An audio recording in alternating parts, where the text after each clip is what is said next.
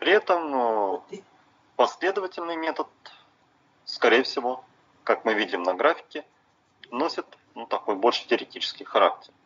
Потому что он заключается в том, чтобы мы, например, сначала построили объект номер один полностью, потом построили объект номер один, он, номер два тоже полностью, только потом перешли к дому номер три, и все это завершили строительством дома номер четыре.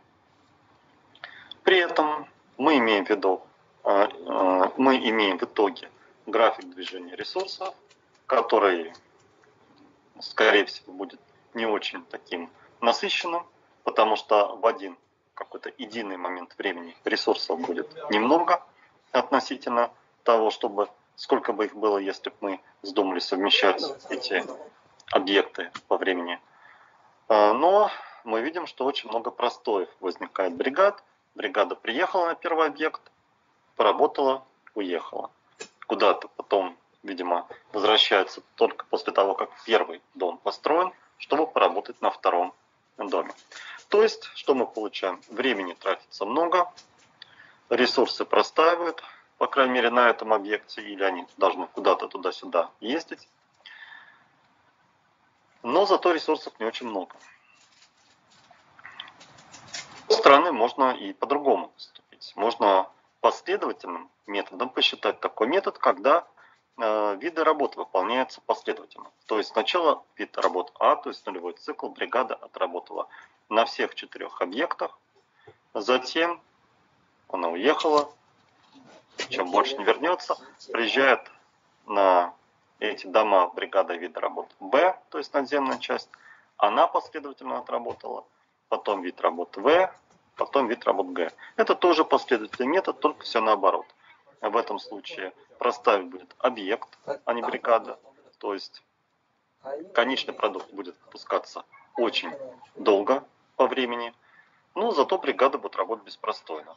Продолжительность э, общего строительства будет максимальной, а график движения ресурсов будет, в принципе, таким же. Ну, тут я считаю, конечно, что количество человек в бригадах одинаково, что, конечно же, очень условно. Но даже если мы подумаем, что это не так, и какое-то разное количество человек в бригаде возьмем, ну, все равно график ресурсов будет небольшим по своим пиковым значениям. То есть это метод, еще раз повторю, теоретический, и поэтому кто его применяет в своих, например, курсовых работах,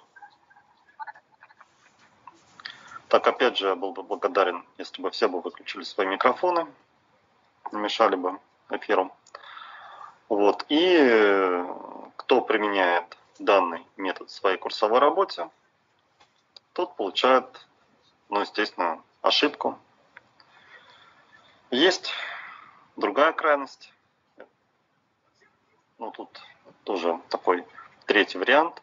Немножко, ну, практически то же самое, что на первом рисунке, только в другом, в другом виде изложена картинка по объекту. Э, ну, поэтому давайте сразу перейдем к другой крайности. Другая крайность называется параллельный метод. Параллельный метод заключается в том, что все объекты строятся параллельно. При этом количество ресурсов у нас максимально. Видимо, нужно много вагончиков, много столовых, много проходных э, на объект. Э, и получается, что все четыре бригады, э, например, бригады А, нам нужно не одна бригада, а сразу четыре бригады бригады Б нам нужна не одна бригада, а сразу четыре бригады. То есть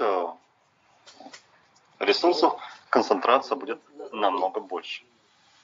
Понятно, что такой параллельный метод тоже, наверное, будет считаться крайностью, тоже будет считаться ошибкой э, в реальных примерах, потому что его применение в таком чистом виде неэффективно, как мы видим. Ну, разве что это обосновывается каким-то очень сжатым сроком строительства. Такое, конечно, бывает, но не в наших с вами курсовых работах. То есть у нас не будет с вами нужного обоснования. А, можно, конечно, нарисовать такую картинку, но эта картинка, мы ее сразу зачеркнем. Так что имейте в виду, что так рисовать не получится, а, просто потому что есть